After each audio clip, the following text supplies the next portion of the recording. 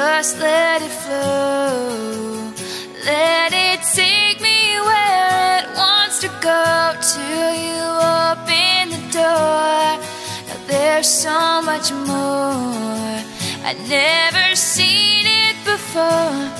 I was trying to.